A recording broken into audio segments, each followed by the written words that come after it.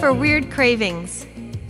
Hormonal changes may disturb pregnant women's taste and smell receptors, prompting them to ache for odd food varieties. Yearnings could likewise be an indication that mother and baby are lacking in specific supplements. For example, needing red meat could show an insufficiency of iron. For more exciting myths and facts, subscribe to our channel and don't forget to click the notification icon. Bye for now.